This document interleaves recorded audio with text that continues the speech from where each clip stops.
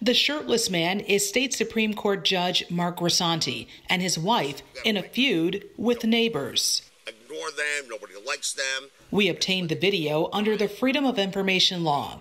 There is a lot of yelling and swearing, so we've muted much of the audio. In the end, the judge's wife was placed in handcuffs, and then the judge yells and puts his hands on an officer.